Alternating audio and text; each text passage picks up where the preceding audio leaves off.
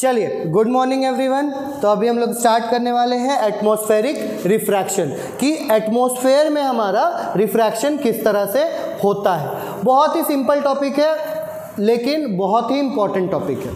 ठीक है? अगर एक बार आप समझ जाओगे कि एटमॉस्फेयर बना किससे है अब सब आता है एटमॉस्फेयर में क्या है? एयर अब हवा क्या करता है? अलग अलग लेयर से। ठीक है? तुम लोग ज्योग्राफी में भी पढ़े होगे ना कि अलग अलग एटमोसफेयर का लेयर्स होता है। स्ट्रेटोस्फेयर मेसोस्फेयर ठीक है?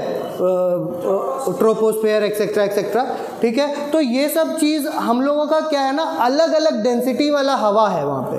टेम्परेचर हर लेयर पे अलग है, हर लेयर पे डेंसिटीज़ अलग है, ठीक है? तो इसके वजह से हमारा जब भी लाइट कोई बाहर से आ रहा होता है तो वो तुम्हारा बहुत ज़्यादा रिफ्रैक्शन सफ़र करता है। ठीक है? बहुत ज़्यादा रिफ्रैक्शन सफ़र करता है, जिसके वजह से हम लोग को बहुत सारा यूनिक फेनोमेना देखने को मिलता है, जो आगे हम लोग डिस्कस करेंगे। और ये इस तरह का क्वेश्चन तुम्हारा एमसीक्यू में असर्शन और रीज़न वाला टाइप में क्वेश्चंस में आएगा। इसीलिए बहुत इंपॉर्टेंट हो जाता है, क्योंकि सबसे हार्ड वही है।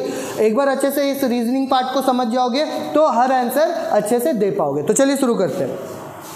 सबसे पहले, हम लोग को पता है कि we know that light goes from one medium to another medium having different optical density then refraction of light takes place है ना? अगर अलग अलग डेंसिटी वाले किसी चीज़ में ऑप्टिकल डेंसिटी ऑप्टिकल डेंसिटी इस पर याद रखना, ठीक है? अगर अलग अलग ऑप्टिकल डेंसिटी वाले चीज़ पे लाइट ट्रैवल करता है तो उसमें बेंडिंग ऑफ़ लाइट होता है, यानी कि रिफ्रैक्शन होता है। ये पॉइंट सबको पता है, ठीक? अब ये होता क्यों है, ये चीज़ जान लो। इन द सेम एटमोसफेयर ठीक है? In same atmosphere the we have air layers हवा का लेयर्स है। ठीक है? जिसमें हैविंग डिफरेंट ऑप्टिकल डेंसिटी और हर लेयर का डेंसिटी अलग है। ये बता चुके हम, वही चीज़ है, ठीक है? अब इसी डेंसिटी जो ऑप्टिकल डेंसिटी जो अलग अलग है, इसके वजह से रिफ्रैक्शन हो रहा है। ये तो पता चल गया हम लोगों को, ठीक है? The refraction of light cause by earth atmosphere ठीक है? इज़ कॉल्ड एटमोस्फेरिक रिफ्रैक्शन ये जो अर्थ अगर रिफ्रैक्शन करवाएगा लाइट का तो उसी को हम लोग एटमॉस्फेरिक रिफ्रैक्शन बोलेंगे। ठीक? बहुत ज़्यादा कुछ कॉम्प्लिकेटेड टॉपिक नहीं है। अब बस मेरे को कुछ फेनोमेना देखना है। Some of the optical phenomena जिसमें से जो नेचर में एक्चुअली में होता है। तो हम लोग आज चार केस इसमें डिस्कस करने वाले हैं। सबसे पहला स्टार ट्विंकल क्यों करता है? सबसे पहला कौन सा टॉपिक है? Star why do stars twinkle ये बहुत ही एक प्यारा सा और अच्छा सा टॉपिक है। हम लोग का इस पर राइम भी बना हुआ है, ठीक है? Twinkle twinkle little star how I wonder what you are तो इसी पे आते हैं। कभी भी तुम स्टार्स को देखोगे ना, क्या सच में स्टार्स ट्विंकल कर रहा होता है? हाँ? सन इज़ ऑल्सो स्टार क्या सन तुमको ट्विंकल ट्विंकल करते दिखता है? कभी नहीं दिखा। ठीक है? क्यों नहीं दिखता? बाकी के स्टार्स भी तो सन का ही सन का ही एक तरह से समझ लो भाई है। तो वो लोग क्यों ट्विंकल करता है? सन क्योंकि बहुत पास में है। एकदम सही आंसर सन क्योंकि बहुत पास में है तो उसका लाइट का इंटेंसिटी इतना ज़्यादा होता है कि रिफ्रैक्शन हो भी तो हम लोग को पता नहीं चलता। मतलब इतना रिफ्रैक्ट करता ही नहीं है। लेकिन क्योंकि स्टार्स जो सन ही है एक तरह से सन का ही दूसरा रूप है, वो लोग बहुत दूर से आ रहा होता है तो उसका लाइट का इंटेंसिटी बहुत ज़्यादा रह नहीं जाता। ठीक है? बहुत हल्का सा ही एक समझ लो बीम ऑफ़ लाइट जैसा आ रहा है वो। ठीक है? अब वो क्या है हमारे हवा में एटमोसफेयर में एंटर किया? तो जितना अलग अलग लेयर्स में, हवा का जो एयर का लेयर्स है, उस पर अलग अलग तरीका से रिफ्रैक्ट करने की वजह से वो हमें ट्विंकल करता हुआ नज़र आया। ठीक है? मतलब एक तरह से तुम ऐसे समझ लो लाइट आ रहा है, ठीक है? एक तरह से स्टार से आया। जैसे ही हमारा एटमॉस्फेयर में घुसा, ठीक है? यहाँ रिफ्रैक्ट किया, ठीक है? यहाँ रिफ्रैक्ट किया, यहाँ रिफ्रैक्ट किया, फिर हमारे आँखों में आया। ठीक? एक बार हमको जब ये पॉइंट पे रहेगा, हो सकता है स्टार्स दिखे। तो एक बार दिखा, फिर क्या हुआ? थोड़ा देर का गैप हो गया, फिर दूसरी बार दिखा। तो जब एक बार दिख के गैप हो गया तो उस समय हमको स्टार्स नहीं स्टार नहीं दिख रहा। उसके बाद फिर से दिखा। तो वो जो बार बार बार बार वो डिम होना और फिर ब्राइट होना डिम होना ब्राइट होना जो दिखता है, उसके वजह से हमें वो ट्विंकल करता हुआ नज़र आता है। क्लियर है कॉन्सेप्ट ये इतना सिंपल सा टॉपिक है। ठीक है? अब इसको अच्छे से समझो। कि the twinkling of stars reason अगर तुमसे पूछेगा ट्विंकल क्यों करता है सीधा सीधी एटमॉस्फेरिक रिफ्रैक्शन हम आंसर लिखेंगे। ठीक है? The twinkling of stars is due to the atmospheric refraction of stars light उस स्टार का लाइट में एटमॉस्फेरिक रिफ्रैक्शन होता है। अब अगला टॉपिक पे आ जाओ। द कंटिन्यूसली चेंजिंग एटमोसफेयर वही चीज़ हम एक बार बता चुके हैं शॉर्ट में। क्या होता है ना अलग अलग लेवल पे जाता है अलग अलग जगह पे रिफ्रैक्ट करता है। ठीक है? तो ये the continuously changing atmosphere changing atmosphere continuously atmosphere क्या हो रहा है? चेंज हो रहा है। उस लाइट के लिए जो स्टार से आ रहा है, ठीक है? Refracts the light from the stars by different amount from one moment to the other ठीक है? To the other next moment her moment में वो रिफ्रैक्ट करवा दे रहा है उसको। और इसी के वजह से हमें क्या दिख रहा है स्टार्स ट्विंकल करता हुआ नज़र आ रहा है, ठीक है? The star light the star light reaching our eyes increases and decreases continuously वही बोले ना, एक बार क्या होगा? जब हमारे रेंज में, हमारे आई के रेंज में वो स्टार है, उस समय बहुत ज़्यादा ब्राइट हो जाएगा। और हमारे वो हल्का सा जब रिफ्रैक्टेड वाला रेंज में हम लोग देखेंगे मतलब हम लोग देख तो सीधा रहे, लेकिन लाइट एक बार हमारे रेंज में आया देखने को, ठीक है? तो उस समय हमको ब्राइट दिखा। फिर वो हमारे रेंज से उसका लाइट रे अलग भटका रिफ्रैक्ट किया तो हमें थोड़ा सा डिम दिखा। तो ये ब्राइट और डिम ब्राइट और डिम का प्रोसेस को ही ट्विंकलिंग कहते हैं, और इसीलिए हम लोग को स्टार्स ट्विंकल करता हुआ नज़र आया, ठीक है? And the star appears to twinkle at night simple है अब देखिए, though the stars twinkle at night but planets do not twinkle at all क्यों? प्लैनेट्स क्यों नहीं ट्विंकल करता? सबसे पहला रीज़न प्लैनेट्स का खुद का लाइट ही नहीं होता. Planets are non luminous bodies stars are luminous body ठीक है? तो इससे सन का भी एग्ज़ाम्पल निकलता है. देखो इसका एग्ज़ाम्पल आंसर सीधा the stars appear very very small to us because they are very far obvious बात है, बहुत बहुत ज़्यादा दूर है। ठीक है? Stars can be consider to be point source of light stars को हम लोग पॉइंट सोर्स बोलते हैं। दो तरह का सोर्स ऑफ़ लाइट होता है। एक पॉइंट सोर्स जो एक बिंदा के जैसा, बिंदु के जैसा दिखे, और एक एक्सटेंडेड सोर्स जो खींचा हुआ ऑब्जेक्ट के जैसा दिखे। एक पॉइंट सोर्स और एक एक्सटेंडेड सोर्स ठीक है? अब स्टार एक तरह से फ़ंक्शन करता है पॉइंट सोर्स के जैसा, ठीक है? Star is consider to be a point source of light अब the continuously changing the continuously changing atmosphere is able to cause variation in the light coming from point size star point size star से वो तो continuously variation करवा देता है light का due to refraction because of which the stars appear to be twinkling ठीक है, ये सेम रीज़न है। ये कोई, ये रीज़न अभी जस्ट ऊपर पढ़े हो, बस इसको थोड़ा सा दूसरे लैंग्वेज में ये किया। हमको मेन आंसर चाहिए कि प्लैनेट्स क्यों नहीं ट्विंकल करता? Why do planets do not twinkle at all तो इसका आंसर है the planets appear to be quite big planets क्या है? प्लैनेट्स बहुत ही बड़ा है एक्चुअल में। Because they are much nearer to the earth यहाँ पे प्लैनेट्स एक्चुअली में बहुत क्लोज है, तभी तो वो बड़ा बड़ा दिख रहा है, नहीं तो दिखता भी नहीं। स्टार्स के जितना दूर रहता अगर प्लैनेट्स ना तो दिखता भी नहीं, दिखता भी, बहुत सारा प्लैनेट जो दूर दूर है, वो तो दिखता नहीं है। सोलर सिस्टम के बाहर का प्लैनेट्स क्या हमको विजिबल है? या सोलर सिस्टम क्या? सोलर सिस्टम का एंड का भी प्लैनेट हम लोग को विजिबल नहीं होता नॉर्मल आई से ठीक है? आसपास का मार्स वगैरह दिख जाता है तो दिख जाता है, वो अलग बात है। ठीक है? वो भी बहुत क्लियर नाइट्स का ही चाहिए, तब। ठीक है? So the planet is considered to be collection of a very large number of point source of light ये प्रॉपर आंसर हुआ।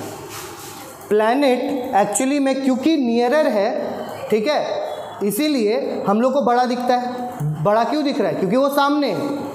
अब वो सामने होने की वजह से बहुत सारा पॉइंट सोर्स होता है। जैसे स्टार खाली एक सिंगल पॉइंट सोर्स है, एक सिंगल लाइट का सोर्स है एक पॉइंट के जितना। बट प्लैनेट्स क्या है ना सिंगल पॉइंट सोर्स के जैसा नहीं दिखता। वो ग्रुप ऑफ़ एक तरह से अगर ये प्लैनेट है तो ये तुम समझ लो, एक पॉइंट दो, इस तरह से ढेर सारा ग्रुप्स ऑफ़ पॉइंट सोर्सेज दिखता है। अब जब भी कोई ग्रुप आ रहा होता है, देखो इसको पढ़ो एक बार। The dimming effect produced by some of the point source of light ठीक है? In one part of the planet is nullified by the brighter effect produced by the point sources of light in its other part ये समझ में आया? नहीं समझ में आया होगा तो हम एक बार फिर से रिपीट करते हैं। अब क्या सिंगल पॉइंट सोर्स रहता है? तो वो तो अब आराम से एक बार डिम एक बार ब्राइट एक बार डिम एक बार ब्राइट दिख रहा है मेरे को। अब क्या है, अगर प्लैनेट को तुम कंसिडर करोगे प्लैनेट को तुम कंसिडर करोगे तो ढेर सारा पॉइंट सोर्सेज के रूप में कंसिडर करोगे। अब जब ढेर सारा पॉइंट सोर्स है बाबू तो हो सकता है कुछ पॉइंट सोर्स अब एक साथ ये डिम और ब्राइट नहीं होगा। कुछ पॉइंट सोर्स जब डिम हुआ, हो सकता है दूसरा पॉइंट सोर्स उस समय ब्राइट होगा। अब दूसरा पॉइंट जो ब्राइट है अभी, वो अगले सेकंड क्या हो जाएगा? डिम होगा। लेकिन जो पहले डिम था, वो ब्राइट हो गया।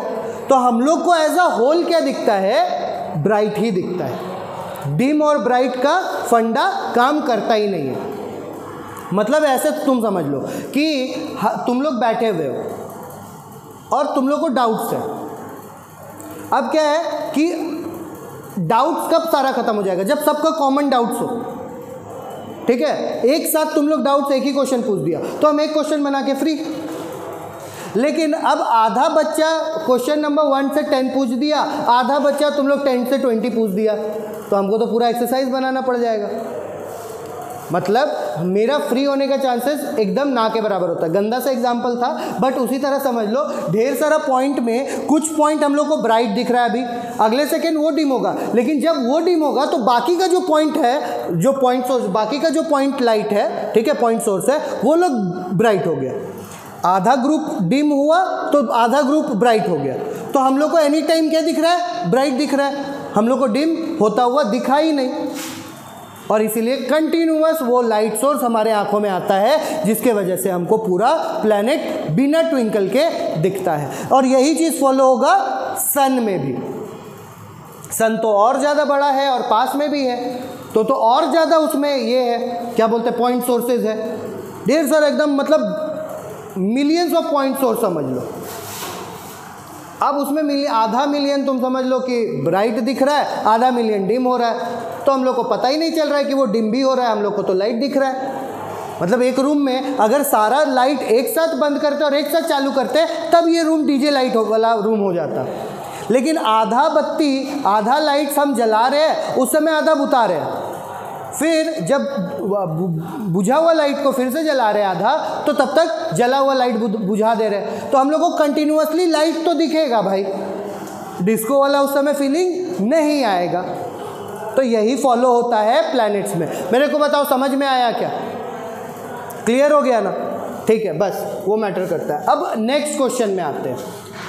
Next reason why the stars seem higher than they are they actually are star उतना भी दूर नहीं है जितना हमको दिखता है। क्यों? सिंपल सा बात है, बताते हैं। एक सेकेंड खाली, ऊपर वाला कुछ छूटा तो नहीं? The continuously changing atmosphere is unable to cause हाँ ये हो जाएगा मेन आंसर मेरा प्लैनेट्स वाला का।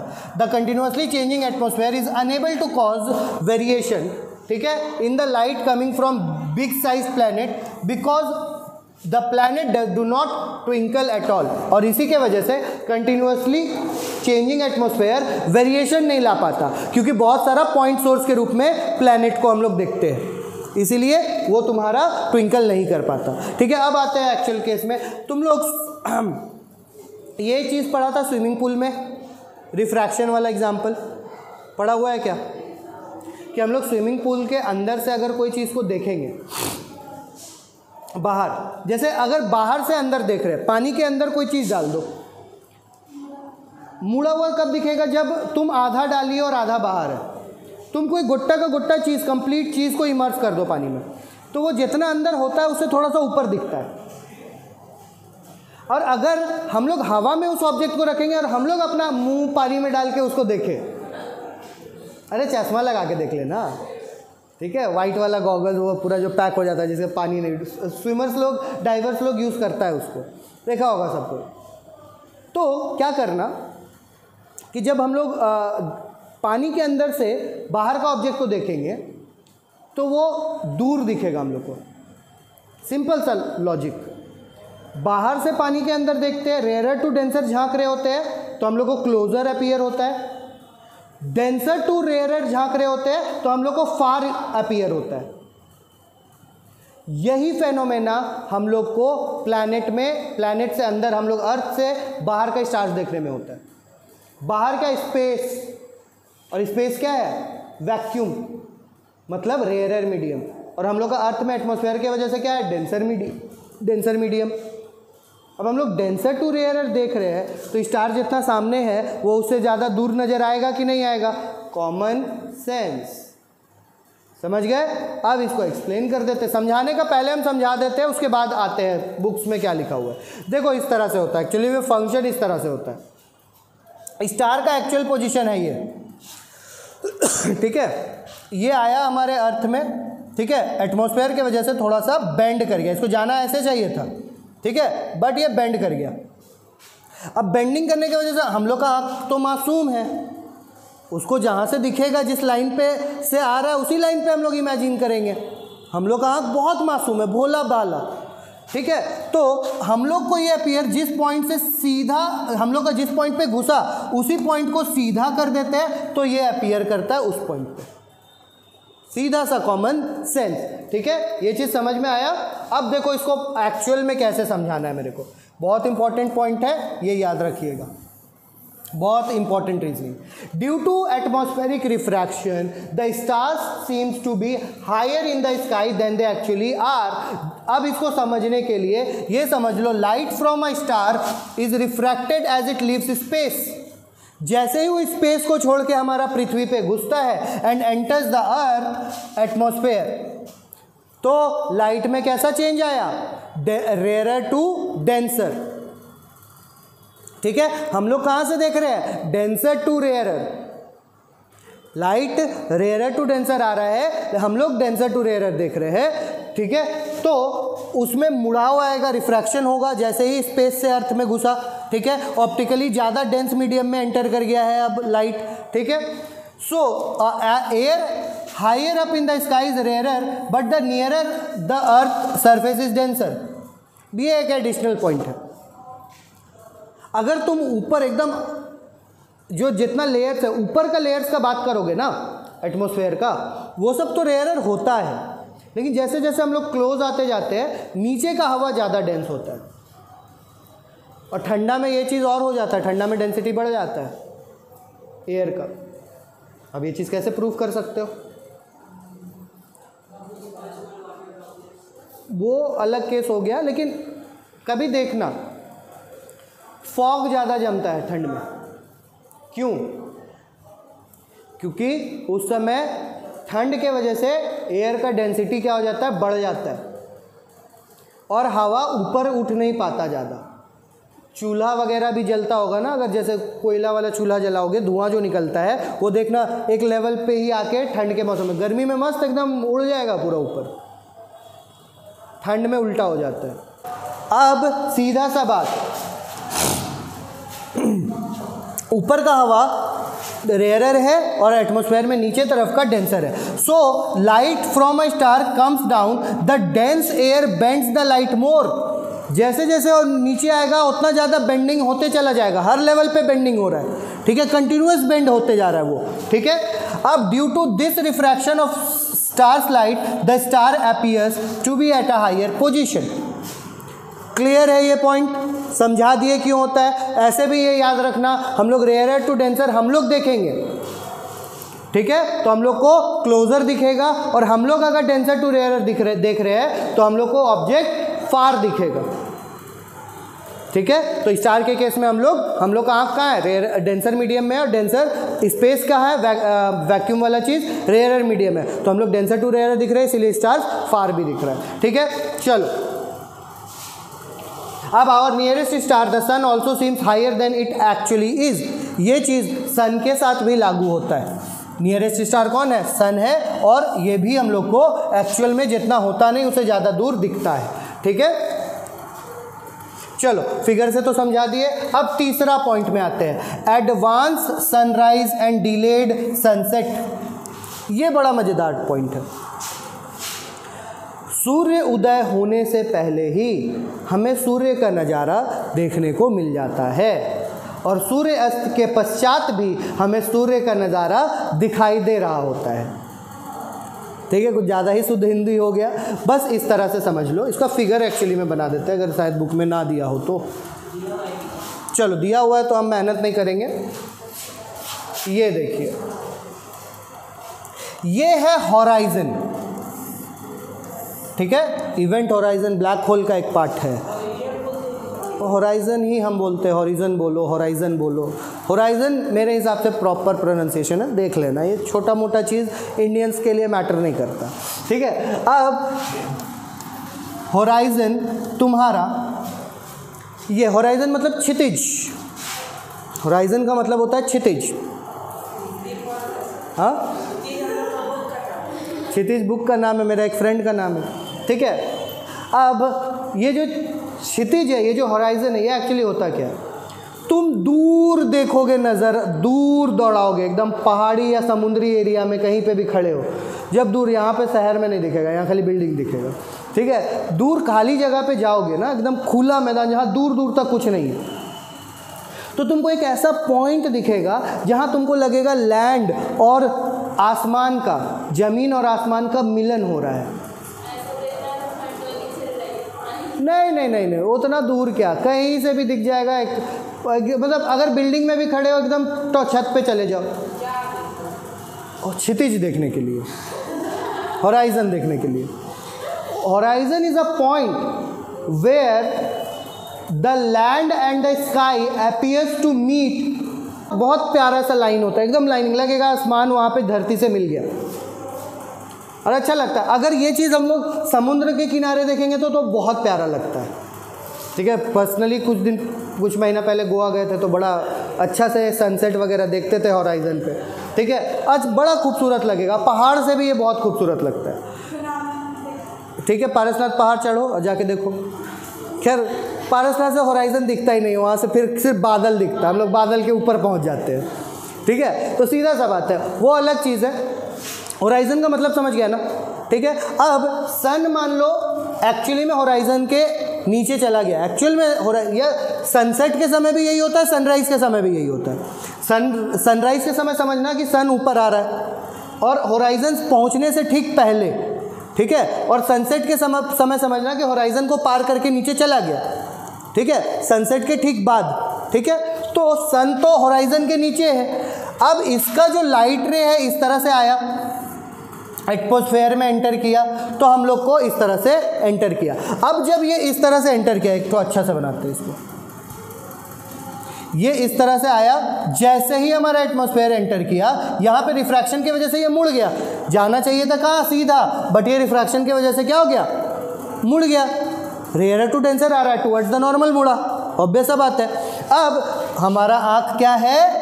मासूम सा। इसको इस पॉइंट पे लाइट मिला तो ये सन को कहाँ समझ लेगा? सीधा। तो ये सन को कहाँ देख रहा है? यहाँ। सन एक्चुअल में कहाँ है? नीचे।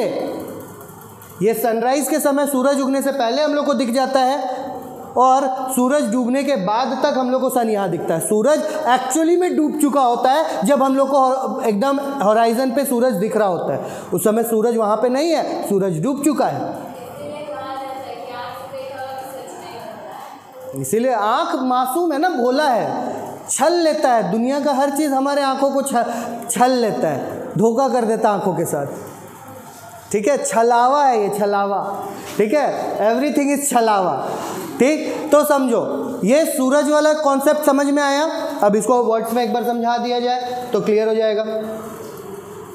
अब क्या होता है, कहाँ दिखता है कहाँ एक्चुअल में होता है, वो ये समझ में गए हो तो सिर्फ़ रीज़न पे आते हैं। It is due to the atmospheric refraction that we can still see the sun for about 2 minutes even after the sun has set below the horizon हम लोग को दो मिनट बाद तक दिख रहा होता है सन सन दो मिनट पहले गायब लेकिन आँखों का धोखा हम लोग को सन दो मिनट के बाद तक दिखता है ठीक है अब the time from sunrise to sunset is lengthened by about two plus two four minute because of the atmospheric pressure तो इसीलिए हमारा पूरा दिनचर्या, अगर हम सूरज का निकलने से लेकर के सूरज का डूबने तक का बात करें तो सूरज कितने तक, कितने टाइम तक हमारे लिए अवेलेबल था? उसमें चार मिनट का बढ़ोतरी हो जाता है। दो मिनट उगने के समय और दो मिनट डूबने के समय।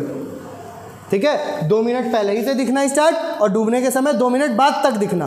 तो दो दो मिनट का इंक्रीमेंट हो गया, ठीक है? और इसीलिए चार मिनट का एक तरह से गैप होता है, ठीक है? अब the day would have been shorter by about four minute if the earth had no atmosphere हर दिन चार मिनट कम होता हर दिन में। दिन का हम बात कर रहे हैं, रात का नहीं। पूरा दिन कंप्लीट डे में, ऐसे हम लोग डे का बात एक एक दिन का बात करते हैं तो मतलब हो गया दिन और रात मिला देते हैं। बट यहाँ प्रॉपर डे का बात कर रहे हैं, जब सनलाइट होता है हमारे पास। वो एक्चुअली चार मिनट कम होता, अगर रिफ्रैक्शन नहीं हो रहा होता। बोले सर, चार मिनट बस, क्या ही करेंगे चार मिनट का? बहुत इंपॉर्टेंट मायने रखता है कभी कभार चार चार मिनट अगर तुम हर दिन मिला दो, तीन सौ पैंसठ इंटू चार कर दो, एक साल में सोच लो कितना मिनट बढ़ गया। और वही चीज़ दस साल तक कर लो तो सोच लो कितना दिन बढ़ गया। उसके वजह से। तो बहुत ये चार चार मिनट का वैल्यूज़ बहुत है। ठीक? तो the sun appears flat flattened या फिर oval at sunrise and sunset ठीक है? अब द सन अपियर्स फ्लैटेंड और oval at sunrise and sunset flattened मतलब थोड़ा सा चपटा टाइप का दिखता, हल्का सा। या फिर ओवल शेप अंडा का शेप अंडा शेप इज़ ओवल शेप है ना? ये इसको बोलेंगे सर्कल शेप और इसको बोलेंगे ओवल मतलब पूरा कुछ ज़्यादा ही हम बना दिए। इसको बोलेंगे ओवल शेप ठीक है? तो सन इस समय फ्लैटेंड या ओवल दिखता है। The apparent flattening of the sun's disc at sunrise and sunset is also due to और ये भी क्यों होता है? फ्लैटनिंग जो हो रहा है, ये भी क्यों हो रहा है? ड्यू टू रिफ्रैक्शन ठीक है? अब यहाँ पे बोल दिया, बहुत अच्छे से समझा दिया, इसको ज़्यादा मन नहीं था बुक वाले को तो बोल दिया we will discuss this in detail in higher classes ठीक है? वो थोड़ा सा, अब क्या है ना, इसी चीज़ को अगर डिटेल में पढ़ने आएँगे ना तो तुमको पूरा एज एक एक पॉइंट का अगर तुम देखोगे, उसके वजह से थोड़ा सा शॉर्टन दिखता है फ्लैटन दिखता है, इस तरह से। वो अलग केस है लेकिन, वो भी लेकिन अगर रीज़न पूछ दे कि बता देंगे, ठीक है? अभी के लिए तो खैर समाप्त करने दो। ये वाला टॉपिक हमारा हो गया समाप्त। ठीक है? अब आते हैं स्कैटरिंग ऑफ़ लाइट इसके वजह से भी रीजनिंग और एसर्शन वाला क्वेश्चन ही बनेगा। ठीक है? स्कैटरिंग ऑफ़ लाइट होता क्या है बच्चा? बताइए। नॉट स्प्लिटिंग ऑफ़ लाइट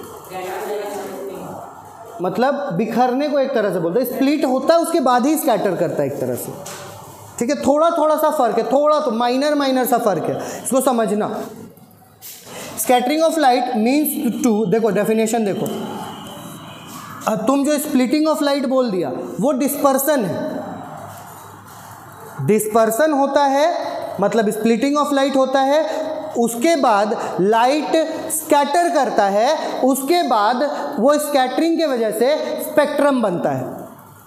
तीनों लाइन एक दूसरे, तीनों पॉइंट्स एक दूसरे से रिलेटेड है बट है बिल्कुल जुदा जुदा ठीक है? तो स्कैटरिंग एक्चुअली में क्या हुआ? Scattering of light means to throw light in various random direction मतलब लाइट रे का एक सिंगल लाइट रे का बिखर जाने को हम लोग स्कैटरिंग कहते हैं।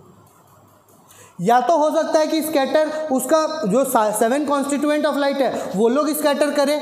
डिस्पर्सन के बाद भी स्कैटरिंग होता है। या हो सकता है सिंगल लाइट ही रे ही स्कैटर करते रहे। एक लाइट है, यही इधर उधर इधर उधर इधर उधर फैलते जा रहा है।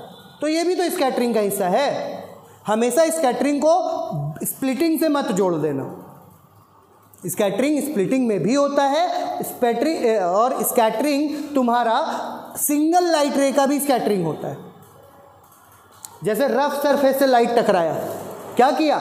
स्कैटर किया। जैसे ये दीवार डॉट डॉट डॉट डॉट तुमको रफ सरफेस दिखेगा। अब इसी रफ सरफेस के वजह से लाइट ज़्यादा स्कैटर कर जाता है। तो इस वजह से हमको स्कैटरिंग होता है। स्कैटरिंग में समझ में आया? मतलब very good light is scattered when it falls on various types of suspended particles in the path रास्ते में पड़ने वाले बहुत सारे पार्टिकल्स से सस्पेंडेड पार्टिकल्स मतलब अटका हुआ पार्टिकल्स देखो सरफेस पे टकरा करके तो स्कैटर करता ही है बाबू।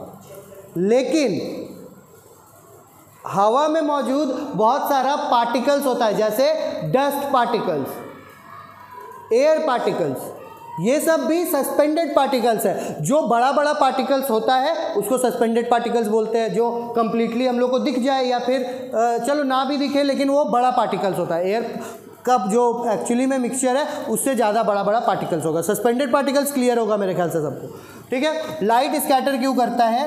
ये इसका इसका आंसर है। बिकॉज़ वो various types of suspended particle से वो रास्ते में टकराता है। और जितना ज़्यादा ये सस्पेंडेड पार्टिकल जितना ज़्यादा बड़ा होगा, उतना ज़्यादा वो लाइट स्कैटर करेगा। ठीक है? Depending on the size of the particle scattering can be of white sunlight as such और वाइट सनलाइट का भी स्कैटर कर सकता है, ठीक है? और of the coloured lights which make up the white sunlight अभी बताया ना? डिस्पर्सन के बाद भी स्कैटरिंग होता है, या फिर व्हाइट लाइट का भी स्कैटर हो सकता है सिंगल व्हाइट लाइट भी स्कैटर कर सकता है, ठीक है? अब आते हैं, अब हम लोग इसको scattering cause by earth earth atmospheric phenomena सबसे पहला प्यारा सा इफ़ेक्ट है टिंडल इफ़ेक्ट ये इफ़ेक्ट तुम लोग ज़रूर ऑब्ज़र्व किया होगा और ये हम गारंटी देते हैं कि तुम लोग बहुत अच्छे से और ये बहुत important very very important topic होता है तुम लोग के लिए। टिंडल इफ़ेक्ट क्या है?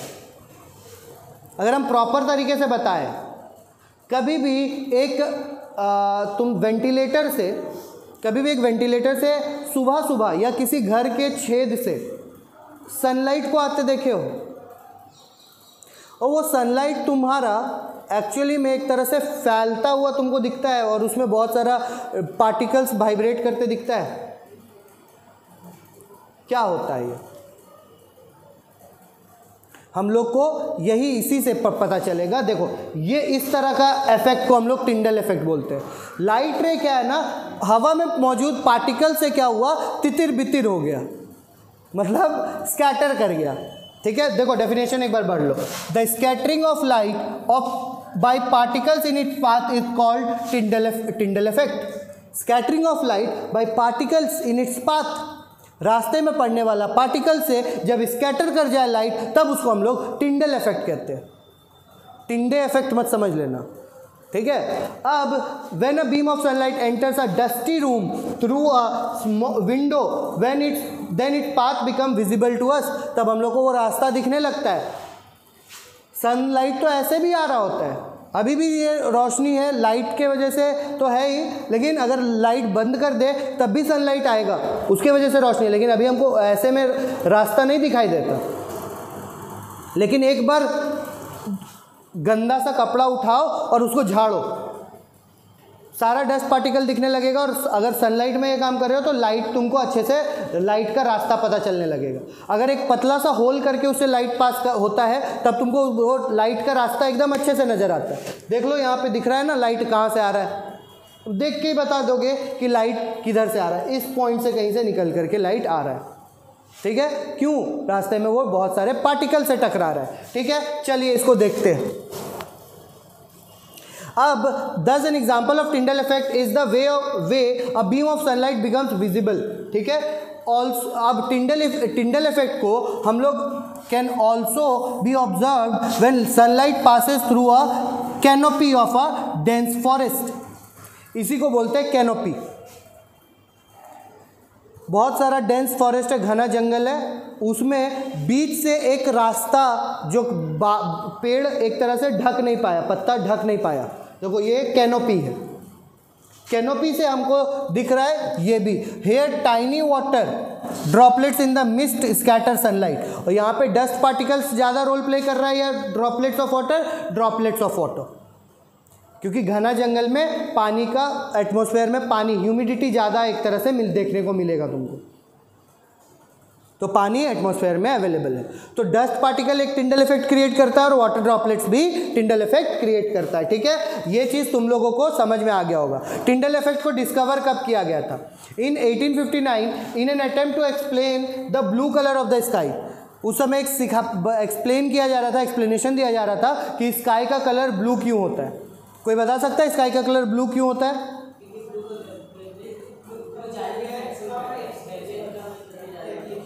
देखो, ब्लू का वेवलेंथ ब्लू मतलब वायलेट समझ लो। वायलेट ब्लू, नीचे का जो विबग्योर का कलर है विबग्योर का जो वी आई बी कलर है वायलेट इंडिगो ब्लू वो कलर्स का वो कलर्स का वेवलेंथ होता है कम। और सूरज से तो वाइट लाइट आ रहा है। और रेड का वेवलेंथ होता है सबसे ज़्यादा। तो रेड कलर सबसे कम डेविएट होता है और हमारे आँखों तक पहुँचता है।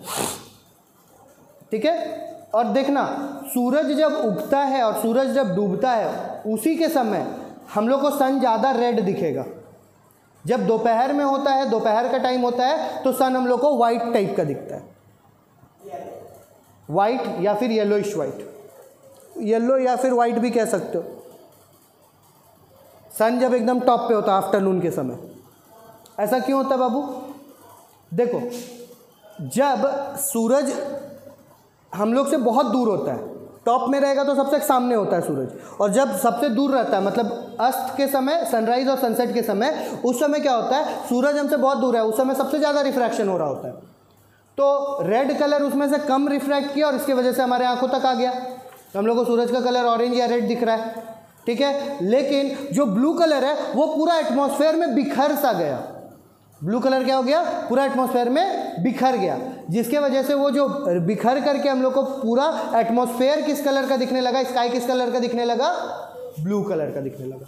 ये होता है असल कारण। ठीक है? वायलेट इंडिगो ब्लू तीनों का एक तरह से तुम समझ लो मिक्सचर दिखता है। न, अब तुम एकदम प्रॉपर स्काई का कलर बोलेगे तो तुम ब्लू बोलते हो? नहीं। तुम इंडिगो बोलोगे? नहीं। तुम वायलेट बोलोगे? नहीं। तुमको स्काई टाइप का स्काई ब्लू कलर का टाइप का दिखेगा। वो एक्चुअली मिक्सचर होता है। ठीक है? वो आर्टिस्ट लोग से पूछना किस तरह से कलर्स का कॉम्बिनेशन बनाते हैं। ठीक है?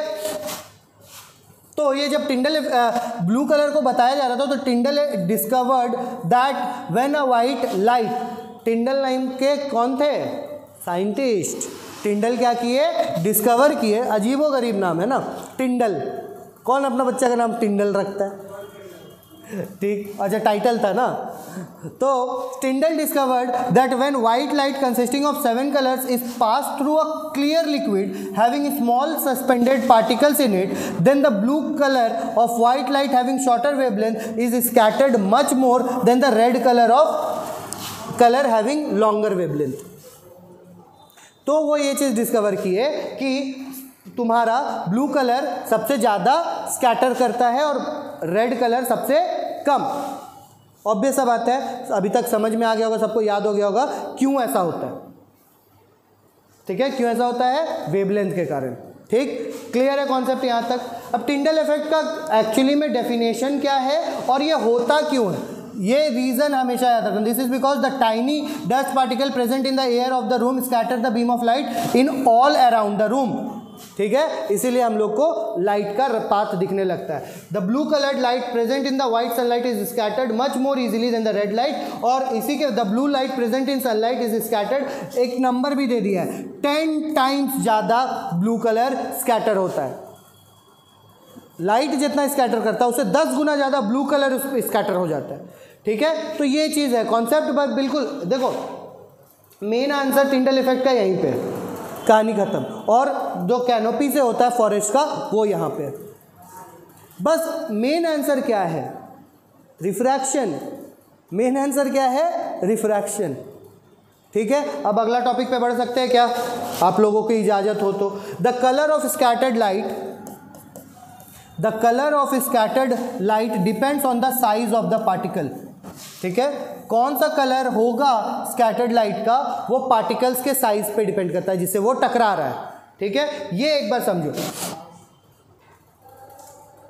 The earth atmospheric atmosphere is heterogeneous mixture of minute particles heterogeneous मतलब? जो नॉन यूनिफॉर्मली मिक्सड हो। जैसे चीनी पानी घोले तो वो होमोजीनियस मिक्सचर है। लेकिन सैंड और वाटर घोले। हेट्रोजीनियस मिक्सचर है कंप्लीटली मिक्स होगा क्या उसमें? इधर उधर जहाँ तहाँ फैला हुआ रहेगा। ठीक है? तो हेट्रोजीनियस मतलब जो यूनिफॉर्मली मिक्स ना हो। तो ये एटमोसफेयर भी में भी कोई चीज़ यूनिफॉर्मली एक बराबर पूरा मिला हुआ है? कहीं पे ऑक्सीजन ज़्यादा मिलेगा, कहीं पे नाइट्रोजन ज़्यादा मिल जाएगा। कहने का मतलब बता रहे उसी तरह पार्टिकल्स भी है, कहीं डस्ट पार्टिकल ज़्यादा है, कहीं नहीं है। कहीं हवा बहुत क्लीन है, जाओ पहाड़ों पे एकदम साफ़ सुथरा हवा मिलेगा। यही एटमोसफेयर का नीचे आ जाओ जाओ दिल्ली मुंबई जाओ। हवा से, साफ़ हवा से ज़्यादा डस्ट पार्टिकल खाने को मिलेगा, ठीक है? तो सीधा सा बात है। These particles include suspended particles like dust tiny water droplets and molecules of air तीन मेन चीज़ डस्ट है वाटर मॉलिक्यूल्स है और मॉलिक्यूल्स ऑफ़ एयर है। ठीक? When light coming from sun strikes the particle जब सन से लाइट आने वाला लाइट इन पार्टिकल से टकराता है, ठीक है? Then what happens to the light depends on the wavelength light के साथ क्या होगा? लाइट के ज़िंदगी का फैसला कौन करेगा? वो लाइट का वेवलेंथ डिपेंड करता है और दूसरा साइज़ ऑफ़ द पार्टिकल जिससे वो टकराएगा, वो डिपेंड कर, उस पर डिपेंड करता है। ये टॉपिक को हम लोग दो पॉइंट में करेंगे, ठीक है? सबसे पहला पॉइंट जब लाइट रे जब लाइट का रे अब सुनिए मोबाइल रखिए और यहाँ पे ध्यान दीजिए। जब लाइट का रे नंबर वन तुम्हारा टकराएगा डस्ट पार्टिकल से या फिर dust particle and water droplet से। ठीक है? तब क्या होगा? ये हम लोग देखेंगे। और दूसरे पॉइंट में हम लोग देखेंगे, जब एयर का मॉलिक्यूल से लाइट टकराएगा, ठीक है? एयर के मॉलिक्यूल से लाइट रे टकराएगा, ठीक है? तो ये दोनों पॉइंट पहले समझो, बात नहीं। पहला पॉइंट तुम्हारा जो पहला पॉइंट दिया हुआ है कि जब डस्ट पार्टिकल या वाटर ड्रॉपलेट से लाइट रे टकराएगा तो लाइट का जो वेवलेंथ होता है ना उससे ये इसका साइज़ पार्टिकल्स का साइज़ बहुत ज़्यादा होता है। पार्टिकल्स का साइज़ क्या होता है? बहुत ज़्यादा होता है। ठीक है? एक तरह से तुम समझ लो। Size of the particles is greater than the wavelength of light अब जब साइज़ ऑफ़ द पार्टिकल्स बड़ा है वेवलेंथ से तो वाइट लाइट जब इस डस्ट पार्टिकल या वाटर ड्रॉपलेट से टकराएगा तो वो उसका जो सात कलर है ना, सातों एक साथ टकराएगा और एक साथ रिफ्रैक्ट करेगा। इसीलिए इसमें वाइट लाइट सात कलर में नहीं टूटता वाइट लाइट वाइट लाइट का ही रूप में रहता है। लेकिन जब दूसरे केस में जो हम लोग पढ़ेंगे कि एयर मॉलिक्यूल्स यानी कि जैसे ऑक्सीजन का मॉलिक्यूल है नाइट्रोजन का मॉलिक्यूल है, इससे टकराएगा ना तो इसमें जो साइज़ ऑफ़ द मॉलिक्यूल्स है, ये एक्चुअली में छोटा होता है वेवलेंथ से। अब क्योंकि ये साइज़ ऑफ़ द मॉलिक्यूल्स छोटा है वेवलेंथ से तो इसमें जब लाइट का रे टकराएगा तो वो जो सात कलर है, सातों अलग अलग तरीका से रिफ्रैक्ट होगा। और इसके वजह से क्या हो जाएगा मेरा ब्लू कलर जो सबसे ज़्यादा रिफ्रैक्ट होगा, वो ज़्यादा फैलेगा। समझ में आया पॉइंट पहले मेरा मतलब समझो। हम किससे डिनोट किए? दो टॉपिक में बांटे। बहुत ईजी है। देखो, हम यहाँ पे तो ईजी कर दिए। ठीक है? दो टॉपिक में लाइट रे को किससे टकराएँगे? या डस्ट पार्टिकल और वाटर ड्रॉपलेट से टकराएँगे? तो इसका साइज़ जो सबसे छोटा पार्टिकल्स है ना, वो साइज़ वेवलेंथ से बड़ा होता है। ठीक है? इसके वजह से पूरा व्हाइट लाइट एक साथ टकराएगा और एक साथ रिफ्रैक्ट होगा, इसीलिए इसमें व्हाइट लाइट अलग नहीं होगा। व्हाइट लाइट तुम समझ लो, यहाँ पे हम लिख दे रहे हैं। पहला पॉइंट में व्हाइट लाइट रिमेन्स इंटैक्ट ठीक है? आफ्टर रिफ्रैक्शन ठीक है? रिफ्रैक्शन के बाद इसमें, पहला केस में व्हाइट लाइट व्हाइट लाइट ही रहेगा। दूसरा केस समझो एयर मॉलिक्यूल्स का साइज़ छोटा होता है वेवलेंथ से। ठीक है? इसीलिए व्हाइट लाइट क्या हो जाएगा? White light will white light will refract according according to the wavelength of each colour ठीक है? जिसमें सबसे ज़्यादा blue colour will blue colour will deviate the most. सबसे ज़्यादा ब्लू कलर डेविएट होगा। सिंपल सा चीज़ है, समझ में आ गया? अब इसी चीज़ को एक बार अच्छे से शॉर्ट में लिख लेना तो तुम लोग को ये पूरा दो टॉपिक जो है ना कॉम्प्लिकेटेड टॉपिक्स ये आराम से तुमको समझ में आ जाएगा। तुम्हारे लिए बस इजी कर दिए। देखो, लिखा हुआ यही है। The different colour of white light are reflected by the dust and water particles in the same way ठीक है? पूरा व्हाइट लाइट सेम वे में रिफ्लेक्ट होता है रिफ्लेक्ट होता है। Due to this scattered light appears white और इसी के वजह से द डिफरेंट ये पॉइंट वन का बता रहे हैं। द देखो पॉइंट वन में क्या था? एक बार फिर से अगर भूल गए तो याद करो। The dust particles and water droplet suspended in atmosphere are much larger wavelength of light से बहुत बड़ा होता है इसका पार्टिकल्स इसीलिए the different colours of white light are reflected by the dust and water particles in the same way इसमें reflect होगा same way से। इसमें रिफ्लेक्शन होगा। टकरा करके निकलेगा। उसमें घुस के नहीं निकलेगा।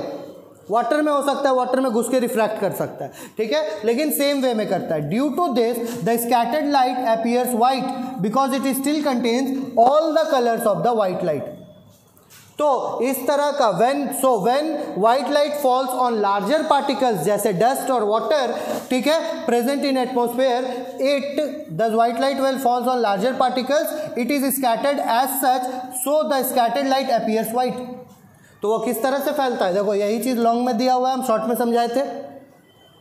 वो वाइट वाइट ही रहता है क्योंकि साइज़ एयर और dust particle sorry dust particle और वाटर मॉलिक्यूल्स का साइज़ बड़ा होता है वेवलेंथ से। इसीलिए वो एक साथ ही पूरा व्हाइट लाइट को रिफ्लेक्ट करवाता है, जिसकी वजह से व्हाइट लाइट व्हाइट लाइट ही बना रहता है। समझ में आ रहा है बात? अब दूसरा पॉइंट देखो। दूसरा पॉइंट में मेरे को बोल रहा है कि द एयर मॉलिक्यूल्स जैसे नाइट्रोजन ऑक्सीजन का जो गैस का मॉलिक्यूल्स है, हवा में गैस भी तो है, उसका molecules are smaller than the wavelength of visible light वो वेव वेवलेंथ जो होता है विजिबल लाइट से, उससे इसका मॉलिक्यूल छोटा होता है, जिसके वजह से अब इसके वजह से होता कौन सा कारनामा है, देखो। ठीक है? Since the different colours of white light have different wavelength अब व्हाइट लाइट का वेवलेंथ सबका अलग अलग है। So they are affected differently वो सातों कलर अलग अलग तरीका से इफ़ेक्ट होगा। The lower wavelength light blues are scattered much more by the air ठीक है? Molecules but the higher wavelength red are scattered much less इसीलिए thus when the white sunlight falls on on extremely small particles ठीक है it is not scattered as white light ये white light के रूप में ना स्कैटर्ड होकर के कैसे होता है? It is not scattered as white light क्या हो गया भाई? हम्म। अब ये थोड़ा सा the molecules of air scatter mainly the lower wavelength of light which have blue shades और ये ब्लू शेड्स को ज़्यादा रिफ्रैक्ट कर देता है, ठीक है? स्कैटर कर देता है। ये दोनों चीज़ यहाँ पे से समझ में आया? ये देखो, इसका समरी दिया हुआ है। The colour of scattered light colour of कौन सा स्कैटरिंग के बाद कौन सा कलर देखने को मिलेगा? किस पे डिपेंड किया? देखो the colour of scattered light The color of scattered light depends on the size of the scattering particles of the atmosphere. अगर dust और water होगा तो the light तो at the atmosphere will scatter the light as due to which the scattered light also appears white. white light को white के रूप में scatter करेगा ठीक है अगर डस्ट पार्टिकल्स और वाटर ड्रॉपलेट्स होगा तो अगर एक्सट्रीमली माइन्यूट पार्टिकल्स है, बहुत छोटा पार्टिकल्स है सच एज एयर मॉलिक्यूल्स जो होता है इन द एयर ये लोग कैसे स्कैटर करेगा? The atmosphere scatter mainly blue light present in the white sunlight वो कौन सा लाइट को स्कैटर करेगा? ब्लू को ज़्यादा स्कैटर करेगा। दोनों कॉन्सेप्ट समझ में आया? बहुत अच्छे से रटा गया होगा मेरे ख्याल से। इतना बार हम रिपीट किए वीडियो में यही चीज़ देख के बोरिंग सा लगेगा कि एक ही बार सर कितना बार बोल रहे हैं। लेकिन क्योंकि ऑफलाइन भी है तो इसलिए हमको बार बार रिपीट करना पड़ा कि यहीं पे याद हो जाए। दो ही केस, फिर से फाइनल रिपीटेशन एयर और वाटर पार्टिकल्स में टकराएगा वाइट वाइट ही रहेगा। एयर मॉलिक्यूल से टकराएगा तो वाइट कौन सा सबसे ज़्यादा? ब्लू को स्कैटर सबसे ज़्यादा करेगा। और ये क्यों क्यों होता है? क्योंकि एयर और वाटर का साइज़ वेवलेंथ के साइज़ से बड़ा होता है और एयर मॉलिक्यूल्स का साइज़ वेवलेंथ के साइज़ से छोटा होता है। सिंपल समराइज तरीके से हो गया। याद। अब आते हैं अपना प्यारा सा टॉपिक जो बड़ा मज़ा आता है कराने में। Why sky appears to be blue देखो सिंपल सा लॉजिक है। अभी यही दो पॉइंट पढ़ा है ना, इसी पे डिपेंड करता है। एटमॉस्फेयर में तीन तरह का चीज़ है। Dust water droplets air molecules और स्काई ब्लू नज़र आने के पीछे हमको डस्ट से और वाटर मॉलिक्यूल से कोई लेना देना नहीं है। किससे किससे लेना देना? डस्ट भूल जाओ वाटर मॉलिक्यूल्स भूल जाओ एयर मॉलिक्यूल्स जो बचा, उसी से काम करना है मेरे को। एयर मॉलिक्यूल सबसे ज़्यादा स्कैटर क्या करेगा? ब्लू लाइट ब्लू कलर को सबसे ज़्यादा स्कैटर करेगा। और सबसे ज़्यादा स्कैटर कर रहा है तो इसका मतलब क्या हो जाएगा? हम लोग को पूरा आसमान पूरा अंबर नीला नीला दिखेगा। ठीक है? पूरा अंबर क्या दिख रहा है हम लोग को? नीला नीला। ठीक है? The scattering of blue component of the white sunlight by air molecules press air molecules देखना answer not dust not water which one is the main culprit air molecule is the main culprit in the atmosphere causes the blue colour of the sky गुनेगार culprit मतलब गुनेगार असली गुनेगार कौन है इस blue colour के फैलने के पीछे एयर मॉलिक्यूल्स क्या अब इसको अच्छे से समझाना पड़ेगा क्यों डिपेंड करता है तुम लोग अब बाबा बन गया इतना समझने के बाद हम रीज़न पूछ दे क्यों तो तुम लोग बोलेगा क्योंकि एयर मॉलिक्यूल्स का साइज़ छोटा है किससे wavelength of light wavelength of light से। बन गया बाबा। लगाते रहो एमसीक्यू में एकदम कॉमन सेंस और आंसर करते रहो, ठीक है? तो वैन सनलाइट फिर भी इसका आंसर एक बार है तो बुक में बता देते हैं।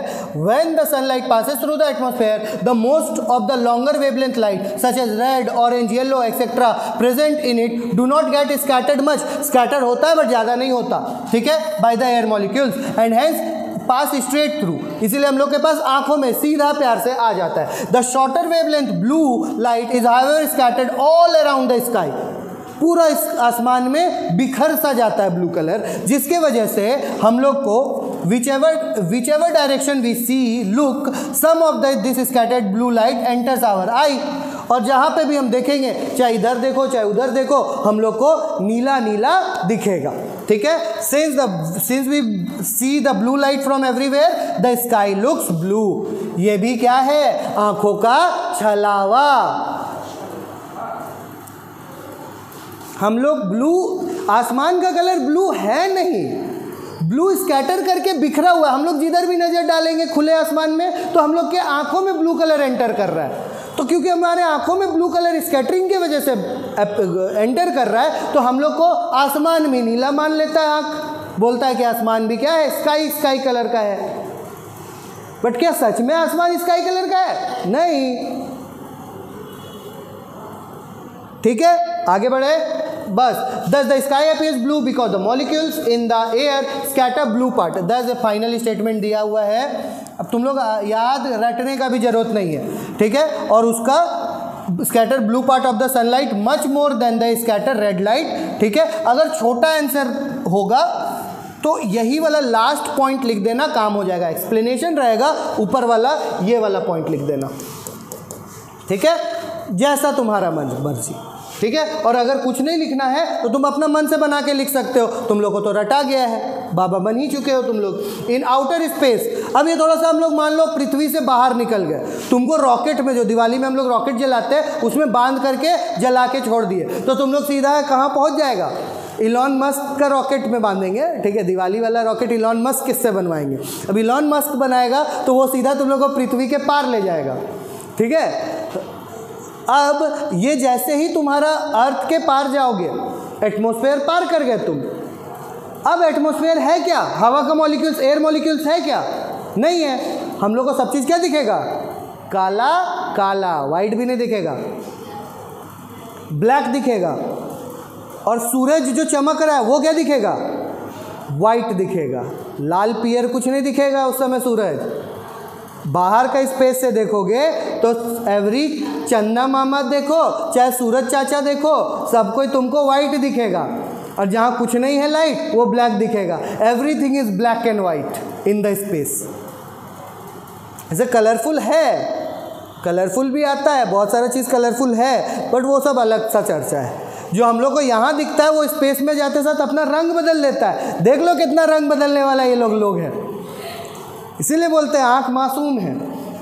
इन द आउटर स्पेस ठीक है if the earth had no atmosphere तो स्कैटरिंग वगैरह कुछ होगा नहीं, बताने का ज़रूरत है नहीं। द आउटर स्पेस का एग्ज़ाम्पल ले लो जैसे sky looks dark and black instead of blue sky हम लोग को डार्क दिखता है या ब्लैक दिखता है। This is because there is no atmosphere containing air in the outer space to scatter sunlight since there is no scattered light to reach our eyes therefore हम लोग को क्या दिखता है? डार्क या फिर ब्लैक दिखता है। बहुत इंपॉर्टेंट है।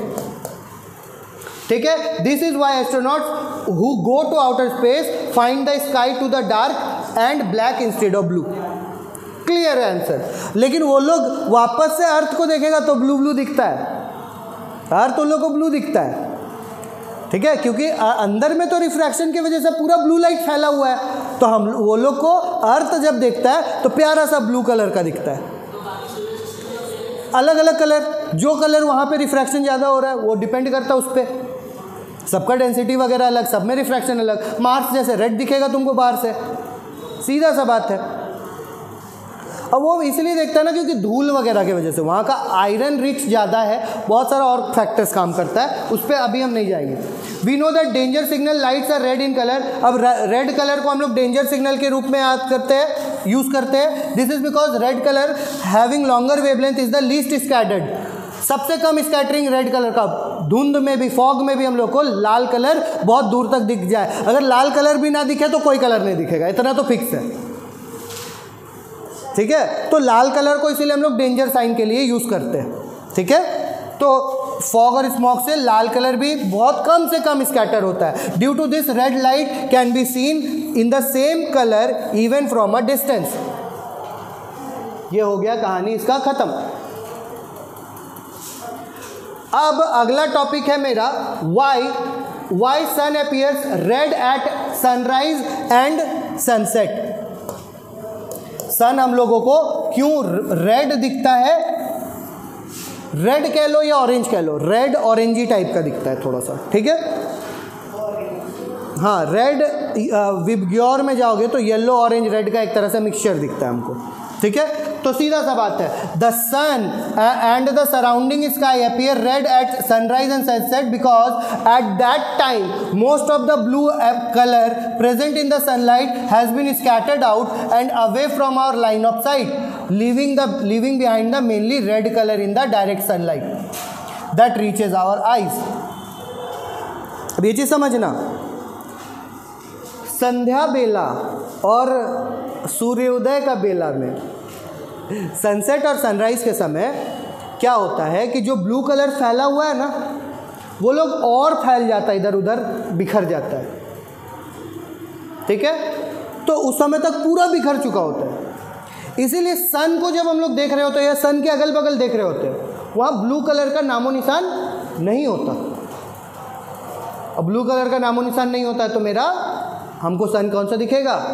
रेडिश वही चीज़ लिखा हुआ है। The sun in the surrounding sky appear red at sunset sunrise and sunset because at that time most of the blue colour present in the sunlight जो सनलाइट में प्रेजेंट है most of the blue colour has been scattered out उस समय तक बहुत ज़्यादा scattering होता है, क्योंकि अभी सन और ज़्यादा दूर है। तो और ज़्यादा ब्लू कलर उससे निकल के इधर उधर चला गया, ठीक है? And away from our line of sight leaving behind mainly red colour और इसीलिए सूरज उस समय क्या दिख रहा होता है? रेड कलर का दिख रहा होता है। The in the direct sunlight beam that reaches our eyes simple सा आंसर है, भाई। ठीक? अब इसको और समझना है तो at the time of sunrise and sunset when the sun is near the horizon sun जब होराइजन के बगल में रहे, ठीक है, या तो यहाँ, या तो यहाँ, और एक ऊपर का आफ्टरनून का भी केस लिया है, जब सन हमारे ऊपर होता है, और ये सनराइज का समय लिया है, और ये सनसेट का समय लिया है, ठीक है? जब होराइजन में रहता है the sunlight has to travel the greatest distance ये बताए थे? वे at the time of at the time of sunrise and sunset when the sun is near the horizon the sun has to travel the light has to travel the greatest distance through the atmosphere to reaches और इसी प्रक्रिया के दौरान blue colour बहुत ज़्यादा, क्योंकि ज़्यादा दूर से आ रहा है तो ज़्यादा ब्लू कलर ये हो जा रहा है स्कैटर कर जा रहा है तो हम लोग को रेड दिख रहा है। और ये, जब आफ्टरनून जब ओवर हेड में रहेगा हमारा सन उस समय बहुत क्लोज ये डिस्टेंस देख लो, बहुत शॉर्टेज डिस्टेंस है। तो इस समय ब्लू कलर उतना स्कैटर नहीं कर पाता और हमको सारा का सारा सातों कलर सातों कलर दिखता है एक साथ, इसीलिए हम लोग को सन थोड़ा सा वाइट टाइप का या येलो टाइप का दिखता है। ठीक है? यहाँ पे यही चीज़ बोला है। देख लो सन अपियर्स वाइट वाइट ही बोलेंगे येलो भी नहीं बोलेंगे। समझ में आ रही है बात? Very good during the this long journey sunlight most of the shorter wavelength blue colour present और इसी शॉर्ट जर्नी के दौरान, उसका शॉर्टर वेवलेंथ वाला ब्लू कलर स्कैटर आउट हो जाता है away from the line of sight so the light reaching as directly वो हमको क्या दिखता है? लॉन्गर वेवलेंथ वाला, यानी कि red colour due to which the sun appears red हो गया यहाँ कहानी खत्म. अब इसी कारण से the sky surrounding the rising sun उसके अगल बगल का भी रेड दिखने लगता है। ठीक है? और ये चीज़ तुम लोग समझ गया होगा कि why the sun appears white when it is overhead जब ये ऊपर में रहता है तो क्यों हमें स्काई दिखता है वाइट दिखता है? ठीक है? क्योंकि इस समय when the sun is overhead at noon the light coming from the sun has to travel relatively shorter distance बता चुके हैं, बस बुक में दिखा रहे कि कहाँ है। ठीक है? शॉर्टर डिस्टेंस ट्रैवल करता है, जिसके वजह से atmosphere during this shorter journey of sunlight only a little bit of blue colour of the white light is scattered हल्का फुल्का करता है तो ज़्यादा फ़र्क नहीं पड़ता। Since the white light coming from the overhead sun has almost all its component ठीक है लगभग लगभग राइट प्रपोर्शन में therefore overhead sun appears white tours हल्का फुल्का ब्लू लाइट ये होता भी है, उसके बाद भी हम लोग को वो सारा क्या दिखता है? वाइट दिखता है, क्योंकि हल्का फुल्का करता है, ज़्यादा फ़र्क पड़ता नहीं, सातों कलर अभी भी इंटैक्ट है। तो हम लोग को प्यार से एकदम सारा चीज़ वाइट वाइट टाइप का दिखता है। ठीक है? अब experiment to study the scattering of light ये एक्सपेरिमेंट है। आप लोग को अपने से देखना है ये वाला चीज़। ठीक है? कि एक सोर्स हम बस थोड़ा सा फिगर को समझा देते हैं। ठीक है? इसमें जो अंदर लिखा हुआ है, वो सब आप एक बार पढ़ लोगे। एक यहाँ पे सोर्स ऑफ़ लाइट है। देख लो। यहाँ पे सोर्स ऑफ़ लाइट है। यहाँ पे एक कन्वेक्स लेंस लगा दिया गया। अब क्या है, ये सोर्स ऑफ़ लाइट से लाइट जब निकला अलग अलग डायरेक्शन में तो ये क्योंकि एक तरह से ये समझ लो फोकस पे रखा गया था। तो ये लाइट रे क्या हो गया? पैरेलल हो गया। ये भी पैरेलल ये तो सीधा जा रहा है प्रिंसिपल एक्सिस पे तो सीधा ही चला गया। बाकी सब क्या हो गया? पैरेलल हो गया। जब ये सब पैरेलल हुआ, देखो यहाँ पे, ये एकदम अलग अलग डायरेक्शन में सब इस तरह से प्यार से जा रहे हैं। अब क्या हुआ? यहाँ पे हम लोग वाटर रखे हैं। यहाँ पे हम लोग वाटर रखे हैं containing suspended particles of sulphur ये कोलाइडर सॉल्यूशन है। इसमें सल्फ़र बीच बीच में सस्पेंडेड पार्टिकल्स के रूप में है। है ना? वाटर है वाटर में सल्फ़र डला हुआ है। ठीक? अब सल्फ़र से जब लाइट टकराया तो ये वाइट लाइट इधर उधर भागा। तो ये वाइट लाइट का ही रूप रखेगा या किसी और चीज़ का रूप ले ले सात कलर में से कोई दूसरा कलर कोई स्कैटर करेगा। सल्फ़र भी तुम्हारा क्या है ना, यहाँ पे जो सल्फ़र का पार्टिकल्स है, ये एक तरह से तुम्हारा एयर का पार्टिकल्स के जैसा बहुत छोटा साइज़ का होता है। ठीक है? और ये छोटा साइज़ का होने की वजह से वेबलेंथ से छोटा होता है इसका साइज़ ठीक है? इस वजह से ब्लू कलर क्या हो गया? यहाँ पे जो स्कैटर कर रहा है, ये ब्लू कलर स्कैटर कर रहा है। जैसे ही ये ब्लू कलर स्कैटर कर गया, फिर लाइट रे आगे बढ़ा, ठीक है? कार्डबोर्ड में एक होल था। कार्डबोर्ड में होल की वजह से जो कार्डबोर्ड से टकराया वो तो रुक गया। लेकिन बीच से जो सर्कुलर होल से जो पास किया, वो वापस से एक कन्वेक्स लेंस लगा करके एक बोर्ड पे फोकस करवा दिए तो यहाँ पे जहाँ पे लाइट फोकस किया, उस जगह पे हमको रेड पैच दिखने को मिला। ये क्या बताता है कि सल्फ़र के वजह से लाइट टकरा करके स्कैटर किया सो ब्लू लाइट स्कैटर हो गया, अलग हो गया उससे। तो इसीलिए जो पैच था, वो रेड कलर का पैच था। ठीक है? इसको एक बार अच्छे से रीड कर लीजिएगा। एक्सपेरिमेंट आपको समझा दिया गया है। प्रॉपर नोट्स बनाइए चैप्टर का और एमसीक्यूज को ध्यान में रख करके प्रिपरेशन करेगा। करना है आप लोगों को, ठीक है? ताकि कोई तरह का गड़बड़ ना हो। चलिए bye bye see you and study hard